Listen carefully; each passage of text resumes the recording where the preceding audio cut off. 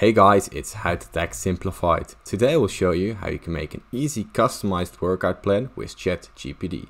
Now you can ask the following question, create a customized workout plan.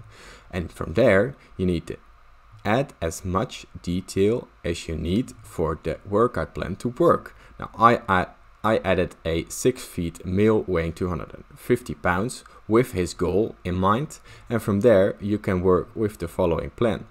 Now, if you want it more in depth, you can even write, write, write a three day body workout plan for this person. And from there, ChatGPT makes a three day body weight workout.